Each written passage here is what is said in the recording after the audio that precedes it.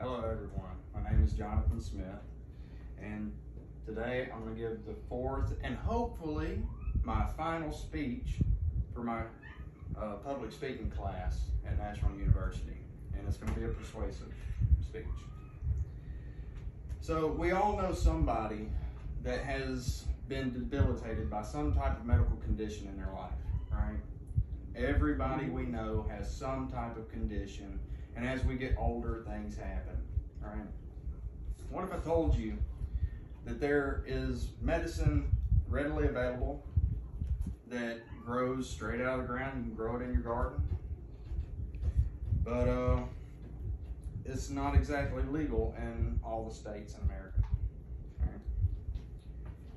So today I want to talk about medical marijuana and why I feel like we need to legalize it nationally, federally, make it available for everybody.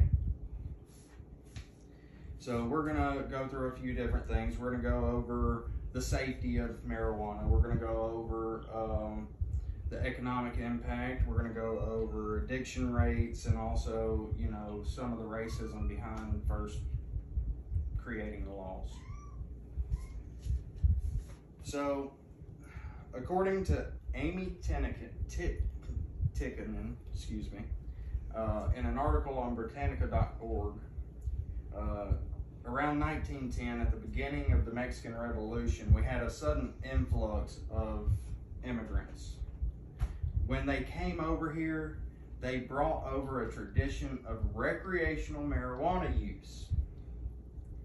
This caused 26 states to start creating their own laws to ban medical marijuana or marijuana in general.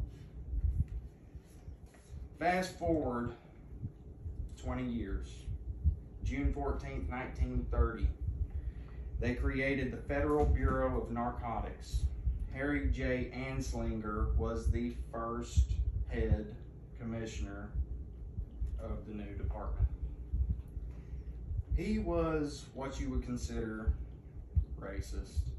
There are things that he believed, and to keep it mild, we'll just say uh, one of his quotes was Reefer makes the darkies think that they're as good as white people. That's that's racist. It's really bad. And you can know that a man that believes that is not trying to push forth any type of law with a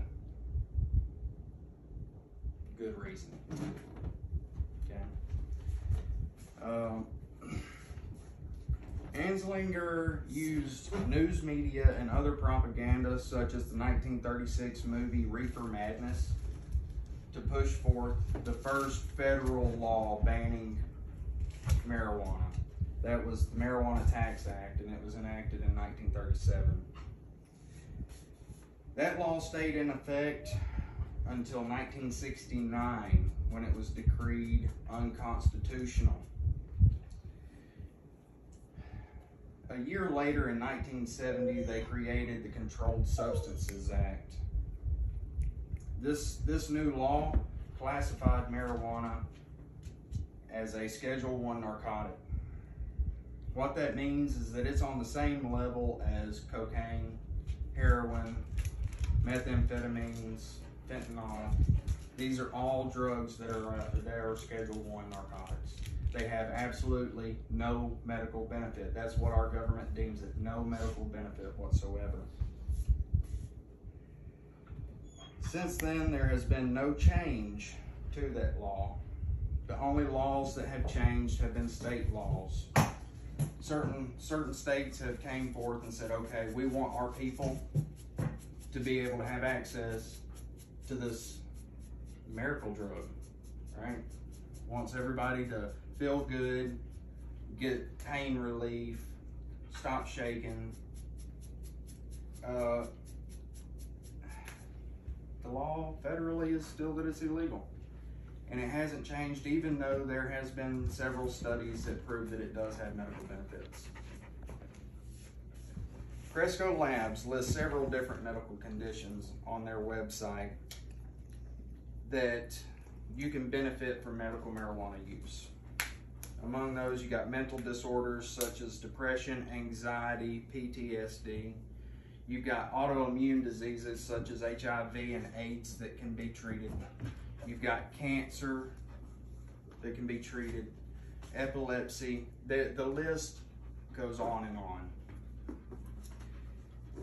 Marijuana can help manage all of the symptoms from these different conditions. And it's one of the only drugs out there that you can get relief from these without having a whole list of uh, other problems.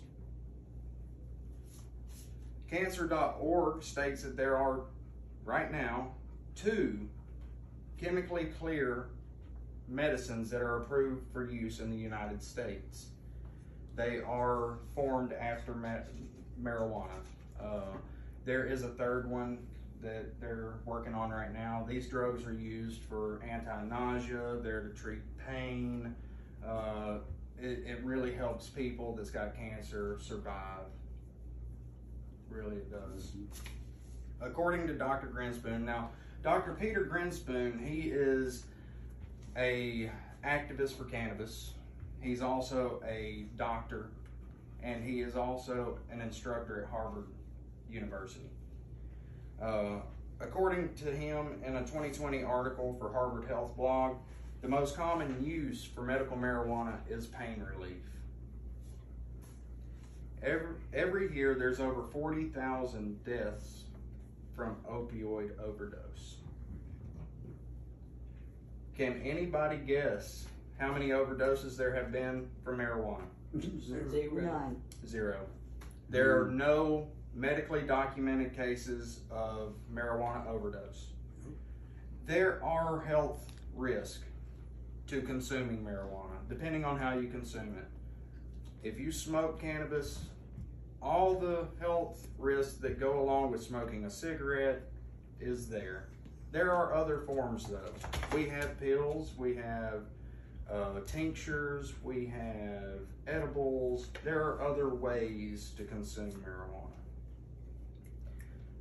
But there's never been an overdose or death or anything like that from it. In fact, Dr. Grinspoon points out to one study that says that in one state, once they legalize cannabis for medical use, over 2 million daily doses of opioid prescriptions dropped.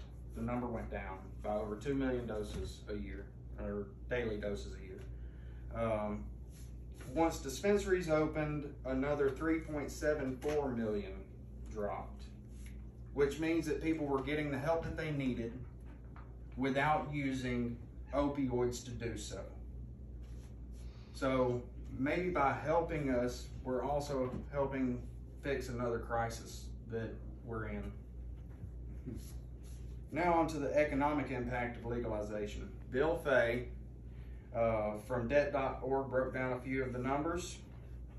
Uh, Oakland, California collected 1.4 million from medical dispensaries. That's almost 3% of all business taxes collected in that city. The state of Colorado collected 5 million. Oregon 6.7 million, which it used to fund other state health benefits. Uh, as of today, marijuana is California's largest cash crop. That's beating out their wine production. That's a big deal. More to the point, almost every state that has allowed medical cannabis has seen revenues from taxes. They use those revenues to better your education, to fix the roadways. Uh, there's a myriad of different things that the government can use that money for. Mm-hmm. After looking at all the laws that banned it, the medical uses, and the safety of marijuana versus prescription drugs and the economic impact, I hope that you all see why I think that we should federally legalize marijuana. I hope that you all go write your senators, write your congressmen, vote green.